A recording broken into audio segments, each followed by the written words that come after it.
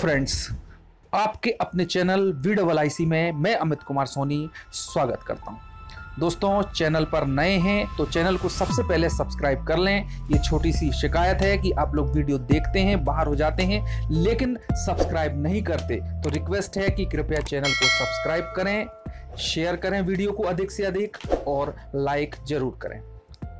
दोस्तों यदि आप लोग इस किसी भी सब्जेक्ट से संबंधित, क्योंकि मैं शैक्षिक समाचार आप लोगों के सामने प्रस्तुत करता हूँ, शिक्षा विभाग से रिलेटेड हर विषय की बात मैं यहाँ पर करता हूँ। तो दोस्तों, यदि आप इससे संबंधित कुछ भी बात पूछना चाहते हैं तो कृपया कर कमेंट सेक्शन में उसको लिख सकते हैं।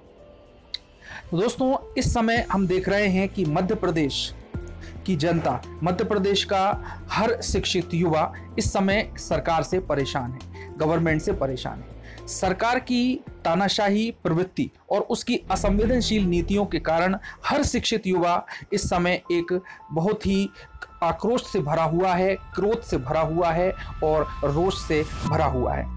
दोस्तों, वैसे तो हर कैटेगरी के, चाहे वो रेलवे की तैयारी करने वाले हों, चाहे वो शिक्षक भर्ती पात्र अभ्यर्थी हों, चाहे वो पुलिस की तैयारी करने वाले हो, हर युवा वैकेंसी ना निकलने से पदों में वृद्धि न होने से, किसी भी प्रकार से नियुक्ति न मिलने से निराश है, काफ़ी खिन्न है।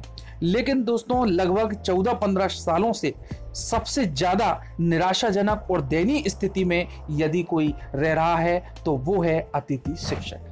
जी हाँ मैं बात करने वाला हूँ मध्य प्रदेश के उन सत्तर हज़ार अतिथि शिक्षकों की, गेस्ट टीचर की, जो कि इस सरकार की उलट पुलट का शिकार हुए हैं, इस सरकार की तानाशाही का शिकार हुए हैं। दोस्तों, अब अतिथि शिक्षकों ने ये संकल्प लिया है कि अब हम इस चुनाव में, उपचुनाव में इस बीजेपी की वर्तमान सरकार को निकाल फेंकेंगे, हटा देंगे। और यदि हमें उपचुनाव से पहले नियमितीकरण नहीं किया गया 12 महीने का वेतन निश्चित नहीं किया गया, परमानेंट नहीं किया जाता है, और हमारी जो कि वैलिड मांगे हैं, वैलिड डिमांड है, नहीं मांगी जाती तो निश्चित रूप से मामा जी आपकी हार इस बार निश्चित है।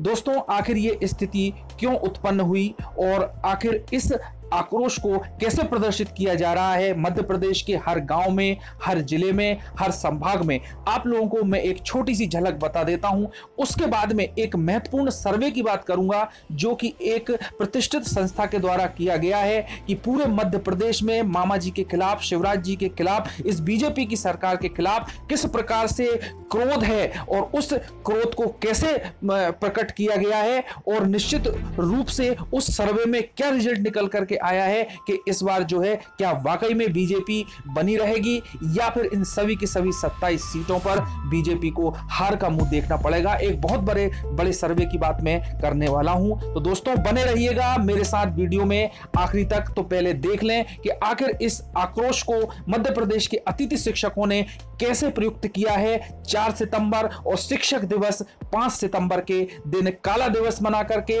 जेल भरो अभियान मना करके। तो पेश है आपके सामने सामने वो वीडियो क्लिप्स।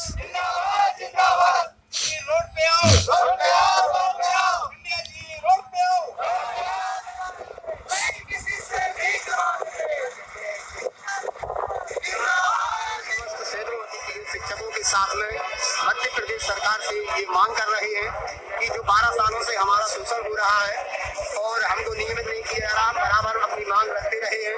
हमको उपचुनाव से पहले तत्काल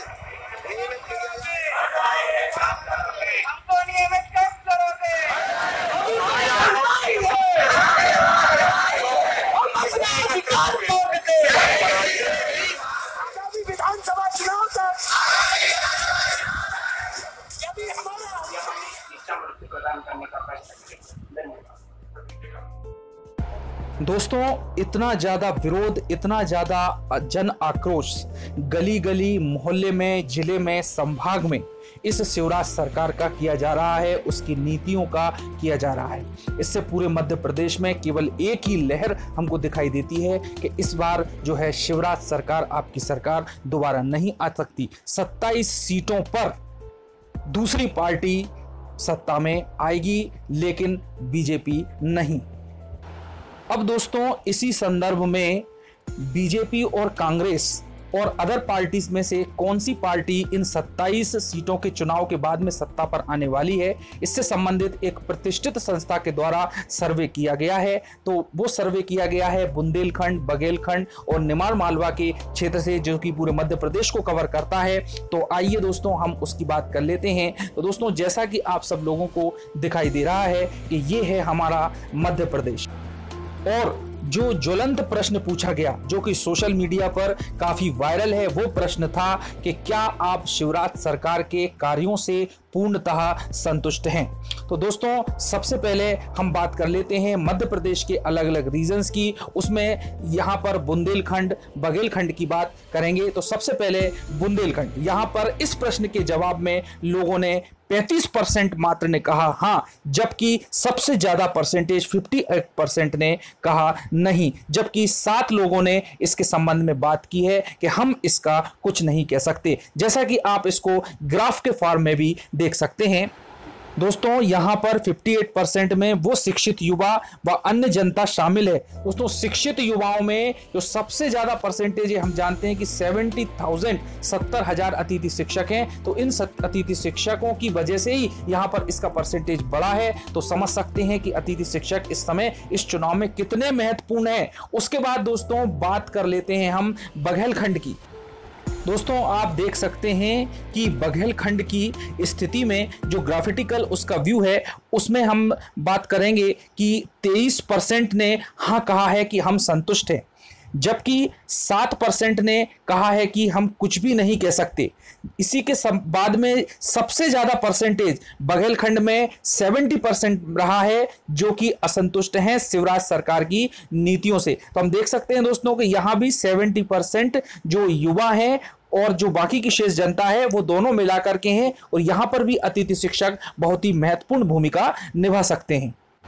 दोस्तों, इसके बाद सर्वे आता है निमाड़ मालवा अंचल का। दोस्तों, निमाड़ मालवा अंचल में आप देख सकते हैं कि यहाँ पर यदि ग्राफ की बात करें तो 43 परसेंट जो लोग हैं, वो संतुष्ट हैं, उन्होंने हाँ कहा है। जबकि 8 परसेंट लोग ने कहा है कि कुछ नहीं कह सकते। यहाँ पर भी हाईएस्ट परसेंटेज ना कहने वालों का है, वो है 49 परसेंट, जिसमें कि शिक्षित युवा व अन्य जनता आती है और अतिथि शिक्षकों ने यहाँ पर भी अपनी महत्वपूर्ण भूमिका निभाई है। तो दोस्तों, ये एक सर्वे था, इसमें अब बिल्कुल क्लियर हो चुका है, स्पष्ट हो चुका है कि यदि हम ओवरऑल मध्य प्रदेश की बात करते हैं तो हमारे सामने जो आंकड़े आते हैं कि शिवराज सरकार की कार्यविधि से संतुष्ट नहीं होने वाले लोग हैं 58 परसेंट पूरे मध्य प्रदेश में, केवल 36 परसेंट छत्तीस परसेंट हैं जो कि संतुष्ट हैं और 6 परसेंट हैं जो हम नहीं कह सकते तो वो भी इधर उधर हो सकते हैं। तो दोस्तों, आप देख सकते हैं कि अतिथि शिक्षक एक सत्ता पलटने में कितनी महत्वपूर्ण भूमिका निभा सकते हैं।